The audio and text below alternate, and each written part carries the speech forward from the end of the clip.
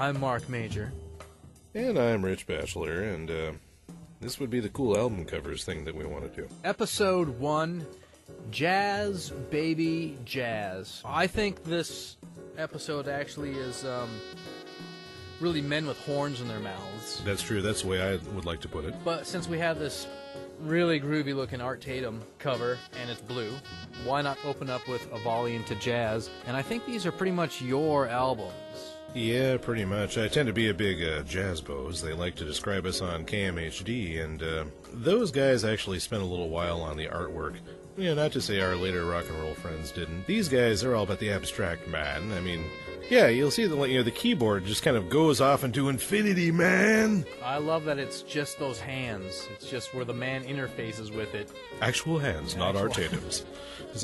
Well, let's go to our next cover. Coltrane, I think I actually put the year on this one. This is 62. I don't know what it is about jazz covers, but they like to just put some sort of color filter on it and say that that's art. generally blue. blue Note Records pretty much did that with everything. And I like this one because it looks like um, it looks like Johnny's spitting on you. It looks like you're kneeling right in front of his bell and he's spitting on you because you just don't get the jazz, man. And here the lucky couple is inside the bell of Artie Shaw's clarinet. Oh, darling, isn't it just fabulous to be here? Or what were you saying? Like, shut up and give me the MacGuffin. It's like, I'm too hopped up on these muggles to know what the MacGuffin is. More with this, like, hey, it's me, and I've got a horn in my mouth. Stan Getz feeling a little meditative right Yeah, whatever Stan wants. Stan Getz. awesome. You know, I was listening to that Stan Getz record the other day. Along with being a massive artistic statement of tremendous personal value to Stan Getz, it is also one of the most boring and annoying albums I've heard in my life. I mean, I'm trying to remember.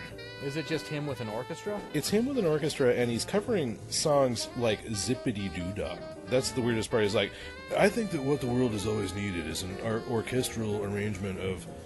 It's not Zippity Doo but but it's a song like that where you're like, you have heard it, and you have heard it since you were a child, and hearing someone go all fucking avant-garde on it doesn't help. Mary Poppins, jazz. yeah, jazz man, going on Poppins style. Let's move on to the Freddie Hubbard cover. Yeah, he's like, he just I like how he's uh the eyes are closed like man I'm just really gonna give this my last one. I'm gonna give you everything I got. I'm, yeah. I'm going. Uh, here, here all comes. Here comes the truth. Here comes. oh my God! I am so sorry to the body and the soul. I don't know. I'm a little bit amazed that somebody cared so little about that album that it came to me via a full 50 cents for this record in perfect condition that's pretty fucking cool. Frankly, the Eric Dolphy parts that made it famous, or famous er, are the least interesting parts. Where it's like, otherwise, it's a really cool band, you know, who's really on and, and rhythmically tight and together and doing this epic stuff.